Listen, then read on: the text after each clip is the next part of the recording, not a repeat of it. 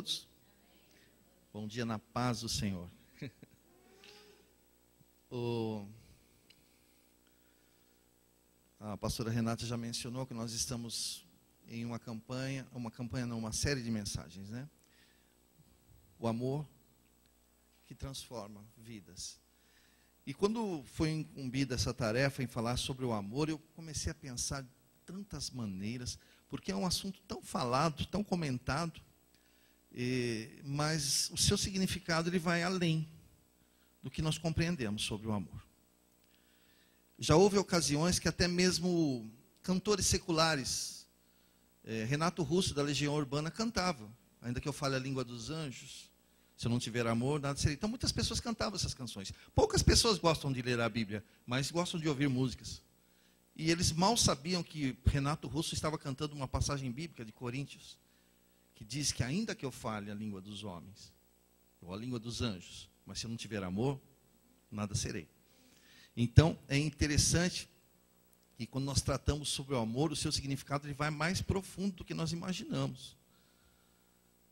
É, parece ser repetitivo, mas eu quero dizer para vocês que quando nós tratamos essa passagem do amor, como, como está dentro desse, da, da proposta de hoje, o falar a língua dos homens é conciliar as pessoas. É trazer uma palavra pacífica e fazer com que as pessoas se conciliem, reconciliem. Então, você fala a língua dos homens. Às vezes está tá uma, uma, uma, uma, situação instaurada num, num, local e você consegue chegar com uma palavra branda, com uma palavra de sabedoria, e você consegue mudar a situação. Porque você também está exercendo o amor. E diz também, a, a, Paulo dizendo assim: ainda que eu fale a língua dos homens, uma língua dos anjos, quer dizer, falar a língua dos anjos é levar as pessoas até Deus, é conduzi-las a Deus. Ainda que eu faça isso, olha que, que dom maravilhoso. Mas se eu não tiver amor, nada seria. Não vale nada. Isso mexe conosco. E quando nós tratamos do amor, eu quero dizer uma coisa para vocês, eu acho que vocês já estão cansados de ouvir isso. Amor não é sentimento. É decisão e atitude. Ah, eu não tenho sentimento do amor. Você nunca vai ter. Você decide amar. Eu decido amar. São decisões que nós temos que tomar. São atitudes que nós temos que ter. Então, é, é, é, é muito fácil, irmãos, romancear. Romanceamos tudo, romanceamos até a palavra de Deus, romanceamos quando o amor, o amor. Nós não estamos falando do amor eros. Existem pelo menos quatro qualificações de amor. Nós estamos falando do amor puro do Senhor. É, eu mesmo tive a, oportunidade em falar sobre isso. Num dos capítulos do livro, eu abordei sobre pelo menos quatro tipos do amor: amor eros, filia, estorge e o ágape.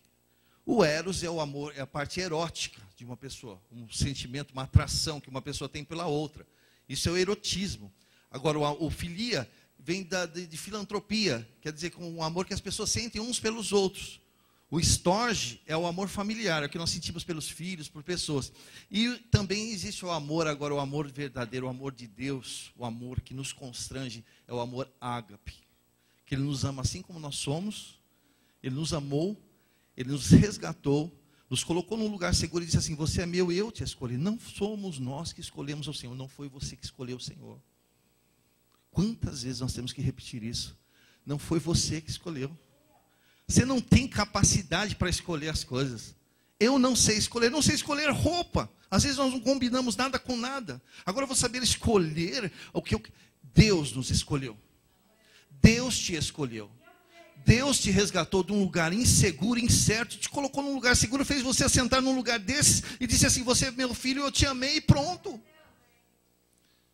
Eu, quando completei meus 18 anos de idade, disse assim: Agora eu tenho maioridade, vou fazer o que eu bem entender da minha vida. Ao contrário, uma voz poderosa disse assim: Não, você é meu, eu te escolhi, sou eu que dirijo a tua vida e dirijo os teus passos. Porque todas as vezes que você dirigiu pelos seus próprios pensamentos, você se deu mal, você se arrebenta, mas você é insistente, você persevera naquilo que sabe que não irá se dar bem. Mas o amor de Deus é constrangedor, a graça de Deus é constrangedora. Hoje nós vamos tratar sobre amor, fruto do Espírito Santo. Por que não frutos? Por que, que a palavra diz fruto e não frutos? O amor é o principal. O resto é consequência do amor, queridos. Gálatas capítulo 5, versículo 22 e 23 diz assim: Mas o fruto do Espírito é amor, alegria, paz, paciência, amabilidade, bondade, fidelidade, mansidão e domínio próprio. Gálatas 5, do 22 e 23. Isso é interessante. Vocês entenderam? O fruto, o fruto principal é o amor. Eu acho que já foi representado aqui uma vez. Eu não, não estava, mas pessoas comentaram. Talvez você tenha visto isso também quando você, se você pesquisar sobre dinâmicas sobre o amor, eles representam o seguinte: porque o fruto, o único fruto, é como se fosse uma laranja. A laranja é o único fruto, não é? Mas ela tem os seus gomos, não tem? Ninguém fala assim, laranjas. Uma única laranja, ela, ela se divide em partes. Então, o amor é como o fruto, é o fruto principal. O restante são consequências do amor. Agora, se eu não tiver amor, eu não vou ter alegria, eu não vou ter paz, eu não vou ter paciência, eu não vou ter amabilidade, eu não vou ter bondade, eu não vou ter fidelidade, não vou ter mansidão e tampouco domínio próprio, porque eu não conheci o amor. E a palavra de Deus diz assim: Deus é amor, ele não tem amor, ele é a essência do amor. Então, quando nós enxergamos Deus, quando nós começamos a analisar Deus, o que o Senhor é, o seu, o seu caráter, e o que ele quer compartilhar conosco, nós começamos a entender que o amor de Deus é compartilhado conosco. Ah, mas pastor, como que são esses frutos? São nove, parece que são nove dons. Nós não estamos falando sobre dons espirituais, nós estamos falando sobre frutos. Você recebe o Senhor Jesus Cristo no seu coração, o Espírito Santo habita no teu ser e os frutos começam a ser gerados sobre a sua vida. Ah, mas não está sendo gerado. Então não tem conversão genuína. Então não tem amor. Ah, eu não tenho esses frutos. É um único fruto. Se você ama, você é manso. Se você ama, você tem paz. Se você ama, você é longânimo. Se você ama, você tem domínio próprio. Se eu não amo. Paulo fala que é como um sino. Então, ressoa e não tem significado algum. É só barulho. A religiosidade leva a isso, a barulho. Barulho não traz poder, mas poder de Deus faz barulho. é, é paradoxal, né? então, que essa palavra nós possamos entender de uma forma clara. O Senhor fala ao meu coração, me constrange, queridos. Eu não falo aqui com essa propriedade, com essa autoridade, longe de mim ser um, um legislador sobre a sua vida, longe de mim, mas a palavra nos constrange. E quando ela nos constrange, a Bíblia diz que a palavra do Senhor é como uma espada bigume, ela tem dois gumes, ela corta dos dois lados. Se ela não falar conosco, ela não vai falar com outras pessoas. Nós não somos repetidores de informação. Nós não somos papagaios que repetimos a informação. Nós somos seres pensantes, dotados da sabedoria de Deus e do amor de Deus. E é por isso que nós temos respostas plausíveis, porque nós recebemos da parte de Deus. Mas se nós amarmos verdadeiramente, se não, oh, ah, que adianta pregar, cantar bem, fazer se eu não tiver amor? Não tem significado nenhum. O que é fruto, querido? Fruto são qualidades morais divinamente implantadas, são resultados da ação do Espírito em nosso caráter. Esses frutos têm que ser evidentes, queridos. Dons espirituais, nós, nós buscamos da parte de Deus dons para servir a igreja, ok? Ah, eu estou em busca do dom, dons espirituais. Nós recebemos o dom e servimos os outros, mas frutos não, é para nós. Gente, vocês já tiveram a oportunidade de viajar de numa, num avião, fazer uma viagem numa aeronave? Não sei se vocês receberam essa instrução, mas os caras que trabalham lá, os comissários, recebem o seguinte: se houver qualquer problema aqui, primeiro você pega a máscara, coloca em você. Não vai salvar o outro, salva você, porque se você estiver bem, consciente, você vai conseguir salvar as pessoas. Não, o que nós achamos é o seguinte: eu quero salvar todo mundo, eu quero resolver a situação de todo mundo, mas não me preocupo comigo mesmo. Nós temos que nesta manhã entender o seguinte: coloca a máscara em primeiro em você, em mim. Eu tenho que ter essa máscara, respirar, ter a certeza e as convicções do Senhor, em quem eu sou no Senhor, para depois querer ajudar os outros. Porque não é desencargo de consciência, parece que é desencargo de consciência. Dar o pão a alguém ou fazer algum benefício a alguém para desencargo de consciência, não. Eu quero dizer para você: salve-se primeiro para depois salvar os outros. O amor é a base, querido, para todas as virtudes. Como a palavra diz aqui, mas o fruto é o amor, olha. O fruto do Espírito Santo é o amor, e as demais coisas são consequências disso. O fruto é uma seleção de virtudes produzidas pelo Espírito Santo na vida daqueles que foram feitos novas criaturas. Alguém pode dizer assim, pastor, como que é desfrutado isso? Eu quero dizer para você, com as pessoas aí de fora, você tem boa convivência, com os irmãos em Cristo, você tem comunhão. Ah, mas com os da igreja eu trato de uma forma muito amável, mas os de fora não, porque eu não tenho comunhão. Você tem que ter boa convivência com todos, mas com os irmãos em Cristo Jesus você tem comunhão. E essa comunhão em Deus, ela se dá através do amor, queridos. Amor a gente consegue só traduzir o amor como eros, o erótico. Ah, eu, eu amo isso. Eu amo. Não, eu tenho que entender que o amor de Deus, um dos versículos mais citados e mais profundos da Bíblia Sagrada, João 3,16, todo mundo sabe decor. Porque Deus amou o mundo de tal maneira que deu seu filho higiênico, a tal maneira que não tem como mensurar. Tal. Não tinha uma palavra que poderia colocar nesse, nesse texto que pudesse redimensionar ou demonstrar o amor de Deus. É uma tal maneira amor de Deus, amor de Deus é que nos enxerga de uma forma, num, num novo foco de visão. Deus nos enxerga hoje, meus queridos. Você sabe por que nós não somos destruídos? Porque Deus nos enxerga através de Jesus Cristo, através do sacrifício vicário de Jesus Cristo. Ele nos enxerga através de Jesus, senão nós seríamos já destruídos há muito tempo. Porque nós não temos amor. Nós teorizamos a religião, nós falamos sobre muitas coisas, nós temos propriedade em muitas coisas, mas quando falamos do amor, nós não vivenciamos o verdadeiro amor. Podemos cantar sobre o amor, podemos falar, mas viver o amor é entender que o amor de Deus vai além da nossa compreensão humana. A paz de Deus que excede a compreensão humana, o entendimento humano, é que vai guardar corações e mentes no Senhor. O seu coração a sua mente tem que estar preservado em Deus para você entender qual o verdadeiro propósito de Deus. Ah, pastor, mas eu vivo orando. Senhor, qual que é a sua vontade? Para. Eu cansei de ser hipócrita. Eu sei qual é a vontade de Deus, eu oro pelas consequências, pelos resultados. O que, que eu vou ganhar com isso? Mas eu não tenho coragem de proferir para Deus. Eu fico assim: qual é a sua vontade, Senhor? Eu sei a vontade do Senhor. Você também sabe a vontade do Senhor. Eu não precisava nem estar aqui pregando, porque a palavra do Senhor, a palavra de Deus, é uma bússola para a nossa vida.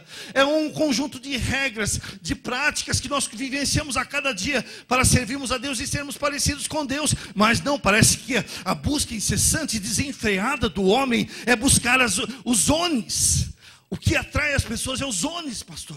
Onisciência, onipotência, onipresença. Ah, eu quero ser onisciente, eu quero saber as coisas, eu quero ser onipotente, eu quero ter todo o poder. Deus não está compartilhando os seus onis, Ele está compartilhando o seu caráter conosco e o seu amor que é demonstrado através da palavra do Senhor. Que Ele disse assim: que Deus amou de tal maneira que entregou o único filho para que nós fôssemos salvos do Senhor. Ele se fez maldito para que fôssemos benditos na Sua presença.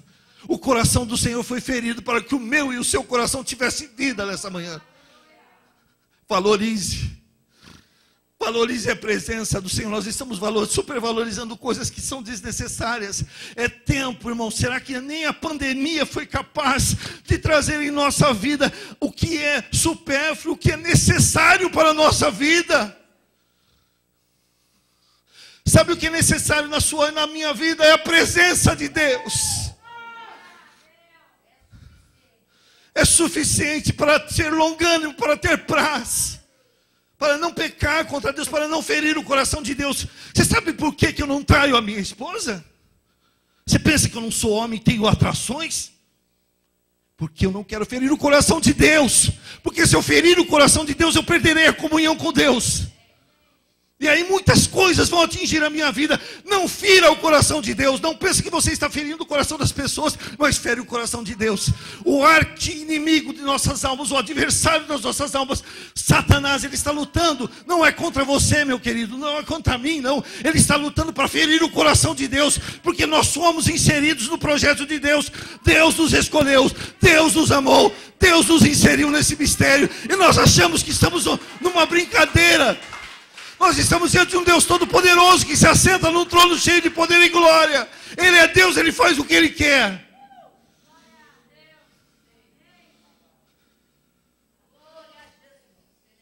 Eu não sei porque o Senhor leva caminhos diferentes, mas eu sinto no meu coração, eu sinto na minha vida algo impulsionando dentro do meu ser é uma chama. Eu não sei se você se sente assim, mas existem momentos, pastor, que a nossa sensação é como os discípulos do caminho de Emaús. Será que não arde no seu coração quando ele fala conosco? Será que a palavra de Deus, quando é falada, será que não arde no teu coração? Será que não traz no seu coração uma necessidade de mudança, uma necessidade de ter uma comunhão plena com Deus? Eu sempre falo, com, a minha tenra idade, eu vim para a igreja. E as pessoas, meus amigos, diziam assim: por que, que você está fazendo isso? Está trocando uma vida agora, você tem maioridade, você podia fazer o que você entendeu.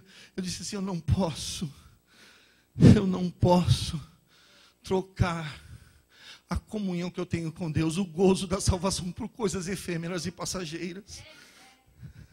Queridos, todos os dias eu amanheço, eu levanto com, com às vezes as situações são adversas, são contrárias mas eu levanto com uma, com uma esperança dentro do meu coração. Porque a fé acredita, mas a esperança aguarda pacientemente. Eu aguardo pacientemente no Senhor, sabendo que o Senhor, Ele cuida de nós. Então, essa chama, esse amor, essa esperança, este gozo da salvação em ser salvo em Jesus Cristo, nos traz alegria, nos traz paz. E nós começamos a amar também. Porque é impossível você ter uma comunhão com Deus e não ter atitudes como Jesus Cristo que era uma representação também de Deus. Será, queridos? Será que nós estamos necessitando de uma reafirmação na nossa vida?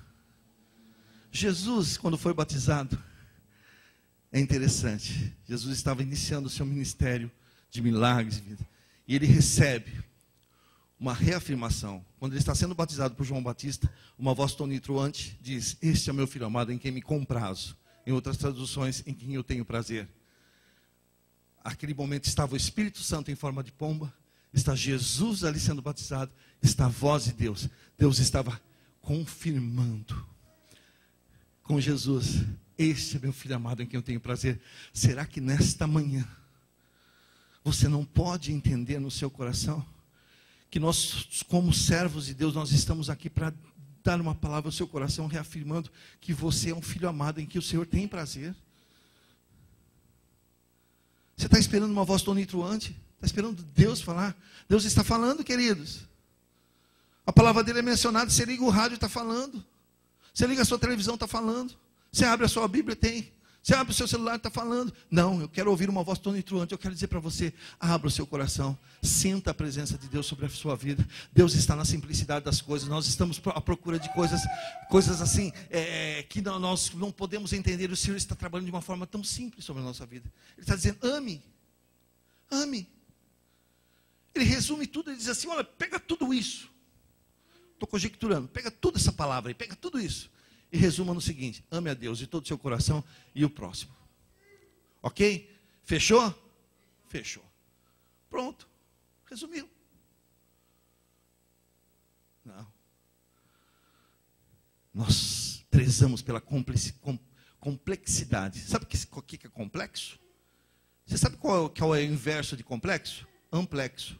Sabe o que significa amplexo? Abraçar. Receba o meu amplexo, receba o meu abraço. É tão antiquado isso, né? Ósculos e amplexos, beijos e abraços. O que o Senhor está dizendo ao nosso coração, ao meu coração principalmente nessa manhã. Deus não trabalha com a complexidade, Ele trabalha com a simplicidade. O amplexo de Deus é o seguinte: Ele está nos abraçando todos os momentos, dizendo assim: Filho meu, eu te amo, eu te escolhi, eu quero compartilhar com você aquilo que eu represento.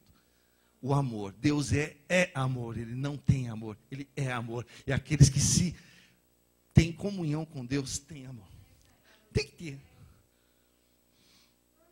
Vamos adiantar. Primeiro ponto, olha, o amor é a principal virtude do fruto do Espírito e pode ser considerado o cerne do cristianismo. O amor é a principal virtude do fruto do Espírito e pode ser considerado o cerne do cristianismo. É o centro do cristianismo aí, ó. O Senhor Jesus declarou que toda a lei se resume no amor. A quem? A Deus e ao. Ah, eu amo o Senhor, mas não amo o meu próximo. Está incompleto. Ah, eu amo, amo o Senhor de todo o meu coração, da minha alma. Olha, e o seu próximo? Não. Deus que está falando, sou eu, queridos. Se fosse eu, você falar, ah, ignora. Pastor aí comeu feijoada ontem, dormiu aí, teve um sonho, uns sonhos absurdos aí. Não, é Deus que está falando, é a palavra de Deus. Às vezes nós enchemos a nossa barriga de feijoada, sonhamos com umas coisas absurdas. Olha, Deus falou comigo, não falou nada, é a sua barriga cheia de feijoada.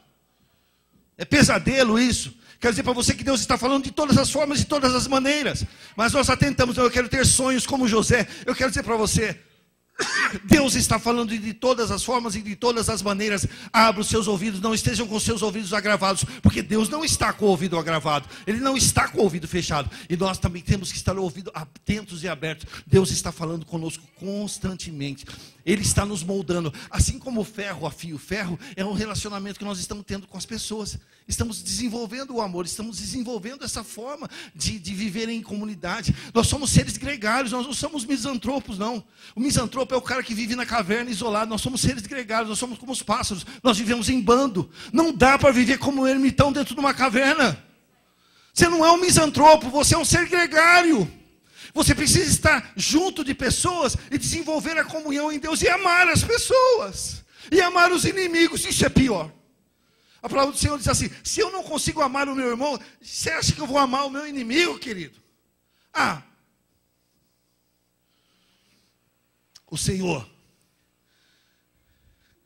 nos dá também um entendimento de quando fala da misericórdia, né, pastor? Misericórdia e graça já, as pessoas já falaram sobre isso. Há uma diferença entre misericórdia e graça. Nós somos alcançados pela misericórdia e pela graça do Senhor. Mas a misericórdia é Deus não nos castigando como merecemos. Isso é misericórdia, tá? Deus não nos, não nos castigamos como nós merecemos. Merecimento tem, mas Deus não nos castiga porque Ele tem misericórdia. Misericórdia. Miséria do coração. Então Deus enxerga a nossa miséria e compreende também a nossa intenção, o nosso coração. Ele usa de misericórdia. Você merecia, mas não, eu vou ser misericordioso. Mas graça em contrapartida é Deus nos abençoando, apesar de não merecermos. O que você está fazendo nessa manhã, o que Deus promoveu na sua vida é graça. Você sabe qual a maior, a maior dificuldade das pessoas que estão morrendo com o Covid-19? Não conseguem respirar. E pela manhã o Senhor nos deu esse oxigênio maravilhoso. Você está vivo, querido. Ah, mas você não sabe, pastor, as situações que eu estou vivendo. Você está vivo. Enquanto há vida, há esperança, não é onde? Você está vivo. O maior milagre aconteceu nesta manhã. Seus órgãos vitais estão em perfeito funcionamento. Você está me ouvindo? Você está me enxergando? Então você está vivo. Então, para aqueles que estão vivos, sempre há uma esperança, sempre há uma, uma nova, um, no, um novo recomeço, sempre há uma nova oportunidade. Quando você ouve a palavra graça, né? quando nós ouvimos a palavra graça, às vezes nós ah, definimos de tantas maneiras. Eu já disse o que é graça, mas eu, eu peguei uma frase de Joseph Cook que disse o seguinte: graça não é nada a mais ou a menos do que a face do amor diante da imperfeição, da fraqueza, da falha e do pecado. Graça, graça favor imerecido. Ficou até bonito isso. Mas você, esse atingiu o cerne, né? o recôndito do coração, o profundo. Graça não é nada mais ou a menos do que a face do amor diante da imperfeição, da fraqueza, da falha e do pecado. Isso é graça, querido. Ah, mas o pastor está falando, todos pecaram e destituídos foram da glória de Deus. Isso é bíblico. Todos, sem exceção. E Jesus Cristo morreu por todos. E a igreja está aberta para todos. Ah, pastor, uma vez eu fui até criticado, que eu disse assim: a igreja não é para pessoas problemáticas, a igreja é para pessoas com problemas. Porque o problemático, ele vai ter problema aqui, ali, lá, onde ele for. Não vai ser a igreja que vai mudar, não vai a convivência com as pessoas. Agora, o que tem problemas, eu quero dizer para você que quando você está na presença de Deus e você ama, sabe o que acontece com esses problemas? São transformados, a mentalidade é transformada, é, é, é a metamorfose, a mudança, a renovação da mente. Transformai-vos pela renovação da vossa mente, muda seu pensamento. Hoje mesmo estava falando com o pastor Marcos, quantas pessoas que dizem assim: é o diabo, é o diabo que está fazendo isso, é o diabo, é transferência de responsabilidades, são as nossas escolhas que na maioria das vezes nos levam ao nosso fracasso. Pastor, está defendendo o diabo, apologia? Não, ele é o arqui-inimigo das nossas almas. Mas até quando nós vamos ter a transferência de responsabilidade? Do jardim do Éden? É, Adão, não, não fui eu, não, senhor. Foi a mulher que, você, que o Senhor me deu. A mulher, não, não fui eu, não, foi a serpente. A serpente olhou do lado, não tinha ninguém. Senão não é transferir para alguém. Mas o que o Senhor se agrada é do coração de Davi. Aí você fala assim: meu Deus, o coração de Davi. Davi fez tantas atrocidades, tantas coisas. Mas sabe o que Davi dizia? Eu somente pequei. Eu sei que eu vou sofrer as consequências. Porque a nossa vida é isso mesmo. Nós vivemos pelas escolhas e consequências. É só isso. Mas Davi disse: Eu sei o que eu fiz. Não transferiu responsabilidade para ninguém. E o Senhor disse assim: coração um homem segundo o meu coração. Não preciso transferir a responsabilidade, eu assumo. Cria em mim, ó oh Deus, um puro coração e renova em mim um espírito inabalável. Criar é dizer assim: eu não tenho, eu não tenho, Senhor. Cria. Agora, renova o que eu perdi. Cria em mim um puro coração. Eu nunca tive isso. Às vezes nós não temos essa coragem, essa ousadia. Senhor, cria em mim esse sentimento, essa decisão de amar, essa decisão. Cria, eu não tenho, Senhor, eu não tenho, eu não tenho fé. Acrescenta a minha fé.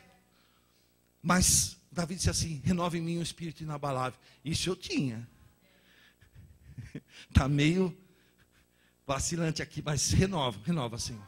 Que eu tenho. Eu quero dizer que nesta manhã Deus está criando e Deus está renovando. Deus está criando na sua vida aquilo que você nunca teve. Talvez você nunca tenha vivido uma experiência real sobre a sua vida. Os salmos são lindos? São maravilhosos. A palavra é maravilhosa? Sim. E os salmos são maravilhosos? São. São edificantes? São, mas não é seu. Até quando nós vamos viver de experiências dos outros e não vamos permitir que Deus nos dê a nossa própria experiência? Quando que nós vamos escrever o nosso próprio salmo? Deus está nos conclamando nessa manhã. Oh, meu Deus. Olha, irmãos, eu não vou pedir perdão porque é a palavra de Deus, mas é um constrangimento. É um constrangimento que eu falei assim, Senhor, estamos tão aquém, tão aquém, Senhor. Nós estamos preocupados com esses detalhes, sendo que o Senhor quer a essência. Nós estamos lançando fora a essência, estamos ficando com as porcarias. Calbart, um grande teólogo, ele disse o seguinte: ao banharem uma criança numa bacia, jogaram a criança fora e ficaram com a água suja. Aí eu entendi. Entendi. Nós estamos ficando com as porcarias da religião, estamos lançando a essência fora. A essência do, do, do, Evangelho é o que é Cristo, e a essência maior agora nesta manhã é o amor, e nós estamos lançando fora e ficando com a sujeira. Estamos dando um banho numa criança numa bacia e jogando a criança fora e ficando com a água suja. E admirando aquilo. olha isso. Hum, questionando. Hum,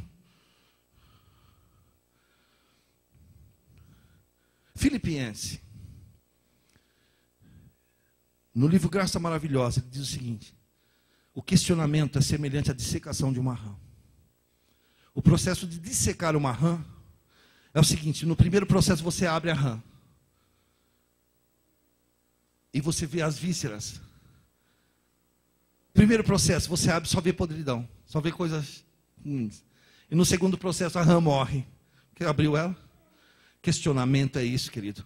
Primeiro processo, eu não consigo enxergar as coisas boas do Evangelho, eu só consigo enxergar as porcarias. Ah, porque ali, é porque fulano, esse faz aqui, fulano faz isso, ele faz isso, eu sou melhor que ele. Você não vai ser julgado pela justiça humana, querido, nós seremos julgados pela justiça de Deus. Sabe a sua justiça e a minha justiça? O que, que Deus nos diz? Sabe que a minha justiça, que o Senhor diz na sua palavra? A sua justiça é um trapo de imundícia, é um pano menstrual, porque a imundícia no período lá da, da Bíblia eram as mulheres que estavam no período de menstruação. Deus proteger essas mulheres, que aqueles homens eram uns brutos. Eles não respeitavam nem esse momento. Aí disse assim: olha, tem um momento da impureza da mulher. O homem não toca na mulher, porque os homens eram brutos. O próprio Deus preservando isso. Mas diz assim: sabe que a sua justiça, a sua justiça, que você está dizendo eu sou melhor que você, é trapo de imundícia. Oh meu Deus, é trapo de imundícia, é pano menstrual. Não serve para nada. Só sujeira, só coisa ruim. Questionamento é isso, querido. É o processo da rã. Lembre-se disso. Primeiro processo, só verei as coisas ruins, e no segundo processo ela morre. A sua fé pode estar morrendo, a sua confiança pode estar morrendo, porque o questionamento tomou conta da sua vida. Se há questionamento, não há amor. Se há questionamento, não há fé. Se há questionamentos, não há esperança. Se há questionamento, não há domínio próprio. Quando eu questiono, eu estou declarando a falência da minha fé. Não sei, o Deus dirige a caminhos que a gente não consegue entender, mas a espada é bigume, querido, ela está cortando os dois lados. Quando o Senhor nos promove uma reunião, um momento de estarmos juntos, é para nós aprendermos a palavra de Deus. O Senhor está falando de uma forma muito profunda e muito, muito dolorida. Mas eu me lembro quando eu era criança, eu me machucava. Eu não sei se existe ainda. Existe mertiolate, queridos? A gente fazia um corte profundo, a mãe vinha com mertiolate. Doía demais, mas curava. Oh, meu Deus. Às vezes é dolorido o primeiro processo. Às vezes nós recebemos uma palavra parece amarga, mas quando cai no nosso ventre ela é doce como mel, porque ela vai trazer vida, ela vai trazer um, um renovo, ela vai trazer um novo, um novo ânimo, ela vai trazer um novos conceitos, ela vai trazer aquele, os, os atributos de Deus sendo gerados na nossa vida, os frutos do Espírito sendo gerados na nossa vida, e o fruto maior que é o amor sendo desenvolvido de uma forma maravilhosa. Jesus disse que não somos nós que escolhemos esse, ele já disse, ele nos escolheu e nos designou para ir e dar frutos. Você vê que muitas menções da Bíblia falam sobre o fruto. Há um processo também. Vamos considerar, né? Vamos. Fruto tem processo, fruto já não nasce maduro, né? Tem pessoas que já estão no estágio maior, já têm mais um tempo na sua fé, já vivenciaram muitas situações, é um fruto um pouco mais maduro. Mas existem alguns frutos que estão começando agora. É, está começando a se desenvolver. Então é um processo. Não vamos também questionar isso. Por isso que a Bíblia diz assim: não queira ser mestre, porque do mestre vai ser requerido com maior rigor. Você quer ensinar? Então vai ser requerido mais. Mas o que acontece? É um, é um processo. E esses frutos estão sendo gerados em nós. Aí eu falo, ah, eu vou ter que buscar isso. Não, você recebe o Senhor Jesus Cristo e o Espírito Santo, esses frutos já estão sendo gerados na sua vida. Talvez você não está entendendo, mas estão sendo gerados. Agora o pior de tudo, querido, isso eu vou ter que falar para vocês. Sabe como que você gera paciência na sua vida? Ah, eu gerei, ó, paciência. Hoje eu amanheci assim, ó, uma luz, uma luz fez. Ai, oh, eu sou paciente. Ah, paciência se adquire com problemas, com buchas. Aí você fala: Meu Deus, se fosse em outra ocasião eu não teria suportado isso. Mas o que acontece? Vai chegar no estágio da sua vida você fala: Não, Senhor, esse fruto está em mim, porque foi gerado na minha vida, foi gerado. Agora eu tenho isso, eu tenho maturidade. Não é maturidade não é idade. Ai meu Deus, a gente fala isso direto, né, amor? Maturidade não é idade, querido. Tem velho insensato, tem jovem insensato, tem criancinha que é mais sensata do que velho. Maturidade é a experiência aplicada. Porque a gente falava que era só experiência, né, amor? Ah, não, maturidade é experiência. Tem muita gente que tem muita experiência, mas não aplica. Então, que nesta manhã, que frutos sejam gerados sobre a sua e a minha vida, para que nós vivamos essa experiência aplicada à nossa vida. Segundo ponto, o amor faz parte essencialmente do verdadeiro cristão, pois é impossível alguém receber a Cristo, ser cheio do Espírito Santo e não ter o seu coração inundado por esse amor. É impossível. Mas eu sou cheio cheio do manto do Pai. E não tem amor? Quantas pessoas que às vezes não, não têm nem equilíbrio emocional, tão pouco espiritual, né? Está buscando a inversão de valores. Primeiro tem que ter equilíbrio, meu amigo. Depois o Senhor começa. Aí a pessoa tem gente orando, o Senhor muda meu caráter. Deus não vai mudar seu caráter, não. Ah, muda meu temperamento. Não. O Espírito Santo vai invadir a sua vida e vai controlar você. Porque toda vez que o velho homem, aquela natureza pecaminosa, adâmica, que vem de Adão, começa a ressuscitar, sabe o que o Espírito vai fazer? Não, não, não. Você está sob o meu domínio, não é mais a sua carne que domina a sua vida, agora é meu espírito que domina. Irmãos, quase que eu pisei na caixa, igual aquele irmão lá da, da, da, do vídeo, né? Já pensou? Ah. Não, Senhor. É isso que o Senhor está ministrando ao nosso coração, irmãos. Essas mensagens com ilustrações é meio complicado. Olha o que a palavra do Senhor diz. Não sou eu. Vocês lembram que a última frase eu disse que é impossível? É impossível alguém receber a Cristo, ser cheio do Espírito Santo não tiver amor. 1 João capítulo 4, versículos 7 e 8. Amados, amemo-nos uns aos outros pois o amor procede de. Aquele que ama é e conhece a Deus. Quem não não ama não conhece a Deus, porque Deus é amor. Talvez seja isso o grande motivo da apostasia atual. Talvez seja o grande motivo, a resposta plausível para os dias atuais, o abandono da fé. Talvez seja a resposta que muitas pessoas estão procurando. Porque hoje mesmo nós falamos assim, ah, existem pessoas que no meio da pandemia eles tiveram outras decisões. Eu quero dizer para você, não, não, a pessoa sempre foi aquilo, só potencializou a vontade maior, ele já tinha vontade no seu coração. Ah, eu não, não, não quero estar na igreja mesmo, nunca tive vontade mesmo, agora que tem essa pandemia é uma deixa para mim, sabe a deixa? Não, eu quero dizer para você que aquele, quem não ama, não conhece a Deus. Amar, queridos, a gente pensa que amar, eu vou amar só as pessoas que, que fazem bem a mim. Não, amar é amar também os nossos inimigos. Eles são fracos também. Nós somos fracos, queridos. Quantos de vocês, quantos de nós já agimos de forma tão infantil? Paulo disse assim: não sejam neófitos. Se você não sabe o que é a palavra neófito, é criança. Não seja neófito na fé. Não seja criança. Porque houve um tempo na sua vida, na minha vida, que eu era alimentado por um leite. Era um leitinho, né? O meu corpo não suportava um alimento sólido, mas há um momento da minha fé, há um momento da minha trajetória na vida cristã, que o alimento é sólido. Dá para receber um virado paulista, dá para receber uma feijoadinha. É isso que o Senhor às vezes quer ministrar no coração. A chega, a gente parece que a gente se conforma com, somente com aquele, com aquele leitinho, com aquela sopinha rala, sabe, aquele, aquele miojozinho ralo. Eu quero dizer para você que o Senhor está nos dando uma palavra sólida. Ele diz nessa manhã ao meu coração, ao seu coração: ame. Se você amar, não amar, você não conhece a Deus. Se eu não amar, eu não conheço a Deus também. Quem não ama não conhece a Deus, porque Deus é é amor. Deus não tem amor, Deus é amor. Nós não temos a opção, querido. Alguém pode pensar assim, mas é opcional, pastor? Eu posso amar ou não amar? Não, não, eu não tenho opção. Não é opcional. Eu amo porque eu fui transformado pelo Senhor Jesus Cristo. Eu não amo, então não fui transformado pelo Senhor Jesus Cristo. Eu amo porque o amor de Deus preencheu meu coração. Não, não, eu não amo, então o amor de Deus não preencheu o coração. Porque eu, eu sempre falo, queridos, sabe qual é o tamanho do vazio do teu coração? O tamanho de Deus. Só Deus pode preencher o vazio do teu coração. Ah, mas se eu arrumar um, bom, namorado, se eu arrumar uma companhia, se eu arrumar um.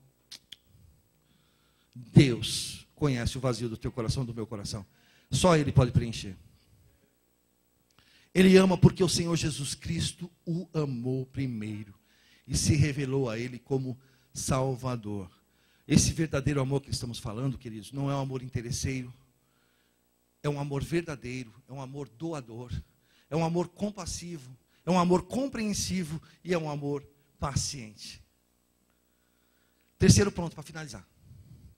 O amor gerado em nós pelo Espírito Santo é tão forte e verdadeiro que a presença ou a ausência dele é capaz de provar. Opa, provar o quê? Agora nós vamos entender. O amor gerado em nós pelo Espírito Santo é tão forte e verdadeiro que a presença ou a ausência é, dele é capaz de provar. Primeiro ponto. A. Se estamos vivos ou mortos. O amor de Deus está em nós, então é capaz de provar se estamos vivos ou mortos. 1 João 3,14.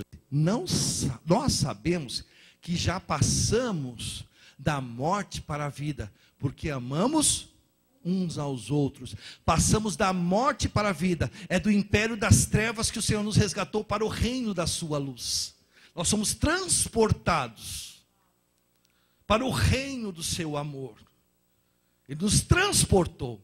Agora, se nós estamos vivendo com as mesmas evidências, com as mesmas práticas antigas, quer dizer que Ele não nos resgatou. Nós estamos vivendo, nós temos o espírito independente. O espírito independente é aquele que não se submete a autoridade alguma. Ele não se submete à autoridade do Pai, tampouco de um pastor, de uma igreja, e tampouco de Deus que ele não está vendo.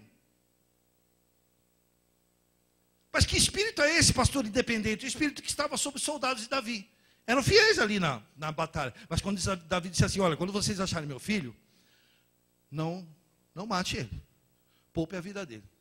Os soldados chegaram até Absalão, prenderam Absalão. Vem um soldado lá, que era de extrema confiança de Davi. O que, que ele faz? Pá! Oh, mas Davi disse que é para matar.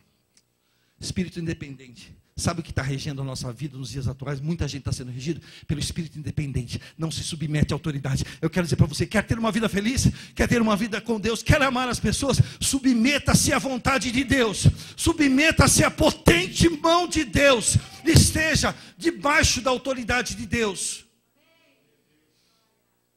Ah, pastor, está falando legislando a autoridade de pastor. A minha autoridade não é a autoridade de Deus, a autoridade suprema. Deus é, é amor, queridos. Deus é amor.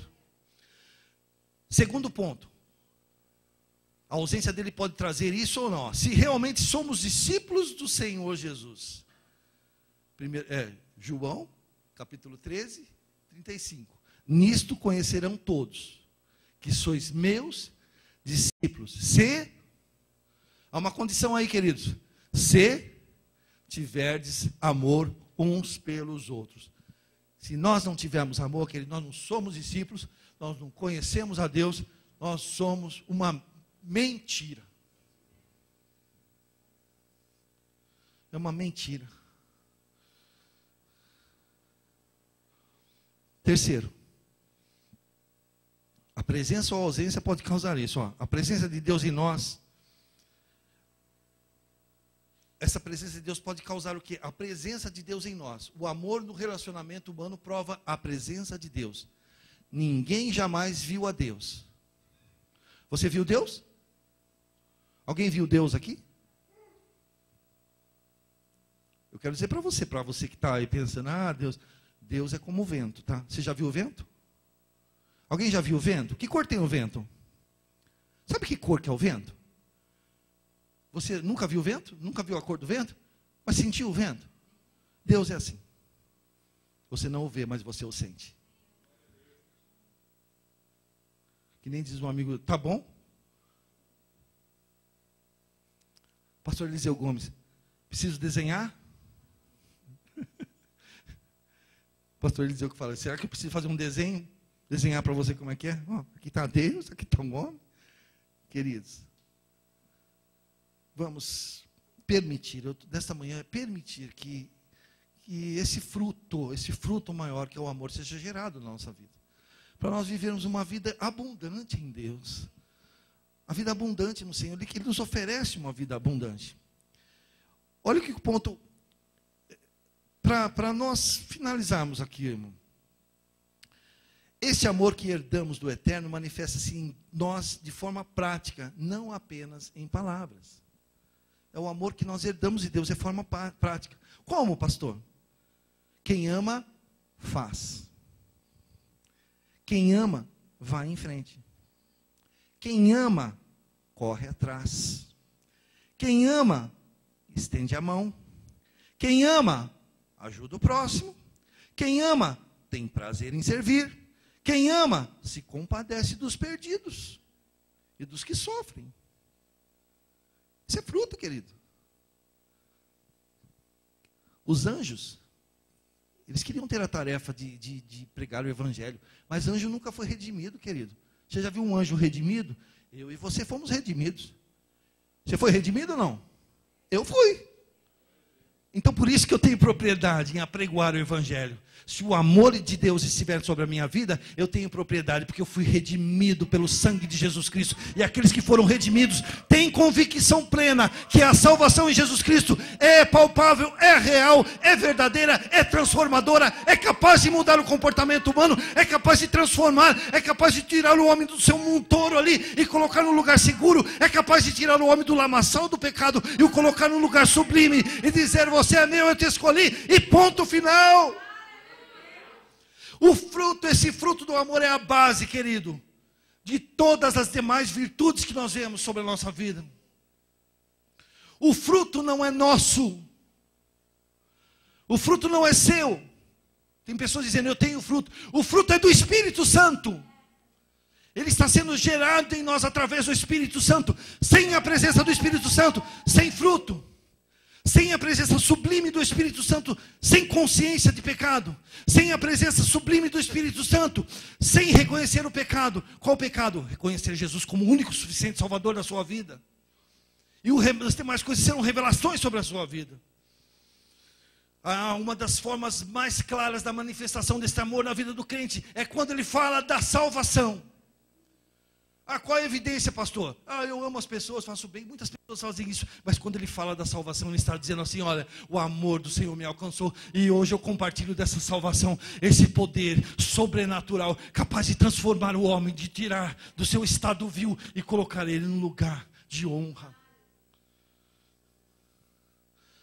É esse amor que nos constrange, queridos. Nossas ações em obediência ao Senhor Jesus, de ir por todo o mundo pregar o Evangelho, é uma das maiores provas de que recebemos o amor do Pai. Uma das formas, finalizando, de eu saber se sou um cristão, é fazer perguntas para mim mesmo. Você já fez pergunta para você mesmo ou não? Existem algumas passagens bíblicas que o próprio salmista diz assim: Por que, que te abates a minha alma? Ele está falando para ele mesmo: Ô oh, alma, por que, você te abate? Por que você aflige dentro de mim? Ele está falando para ele mesmo. E nesta manhã eu, eu encorajo você a fazer algumas perguntas para você mesmo. E eu falei para mim também, mas que você faça essas perguntas para você. Existe amor em mim? Existe amor em mim? Ah, eu amo. Mas será que é um amor eros, fileu? É, ah, ah, Será que é o verdadeiro amor mesmo? O sacrificial?